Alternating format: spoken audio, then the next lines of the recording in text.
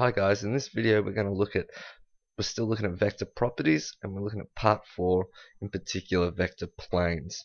Okay, so what are we going to look at in particular? Let's have a look. Oops, wrong slide. Here we go. So what we're going to look at in particular is we're going to learn how to find and represent the equation of a plane in 3D space. We're going to learn how to do that in vector form Cartesian form and parametric form. Then we're going to look at how to find the angle between two planes.